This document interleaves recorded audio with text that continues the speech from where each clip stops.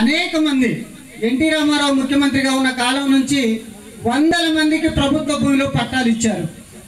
మన పక్కనే ఉన్నటువంటి కొత్తపేటలో నాలుగు వందల యాభై రెండు సర్వే నెంబర్లో నాలుగు వేల ఎకరాల ప్రభుత్వ భూమి ఉంది.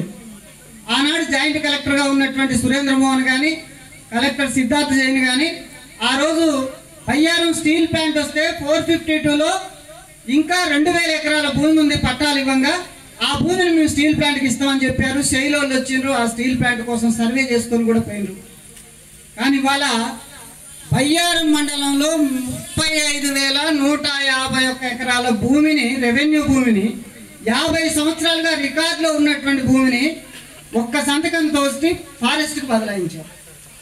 ఏంటి ఉద్దేశం? యాభై సంవత్సరాలుగా రెవెన్యూ రికార్డులో ఉన్నటువంటి భూమి ఫారెస్ట్కి ఎందుకు పోయింది? అంటే ఈరోజు రెవెన్యూ వాళ్ళకు సరైనటువంటి యంత్రాంగం లేదు. వీళ్ళు ప్రభుత్వ భూములు రక్షించే పరిస్థితి లేదు. ఇవాళ పట్టాలు ఇచ్చిన భూములతో సహా ఈరోజు ఫారెస్ట్ వాళ్ళకు వాహనాలు ఇచ్చి ఫారెస్ట్ చట్టాలు ఉన్నాయి. హరితహారం పేరుతోటి మరోదాని పేరుతోటి ఫారెస్ట్ రక్షణ పేరుతోటి బలవంతంగా ప్రభుత్వం ఇచ్చినటువంటి పట్టాల భూముల నుంచి కూడా వాళ్ళని ఎలగొట్టేసి స్వాధీనం చేసుకునేటటువంటి ఒక ప్రక్రియ ప్రారంభమవుతుంది.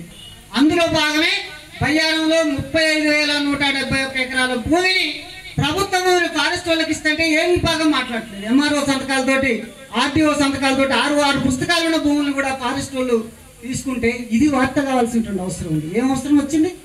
ప్రభుత్వానికి ఈనాటికి ఈనాడు యాభై సంవత్సరాలు నలభై సంవత్సరాల కింద ఒక జీవో వచ్చింది. అది ఇప్పుడు అమలు చేస్తామని చెప్పాల్సినటువంటి అవసరం వచ్చింది?